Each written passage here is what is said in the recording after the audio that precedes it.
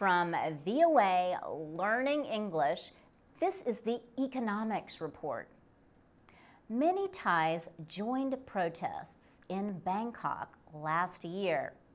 They urged Prime Minister Yingluck Shinawatra to deal with the growing problem of corruption in their country.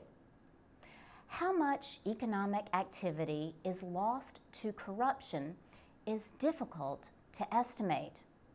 The University of the Thai Chamber of Commerce studied the issue not too long ago. The university found that more than 2% of all of the goods and services produced in Thailand, or worth about $11 billion, will likely be lost to corruption this year. According to the researchers, many business people say they are paying more to Thai officials and politicians to win government contracts. Political economist Pasuk Pongpaichit says there is evidence that officials are making progress in controlling low level corruption. But, she says, the slowing world economy means growing competition for profitable deals with the government. Bandid Nijathaworn is a former central bank official and president of the Thai Institute of Directors.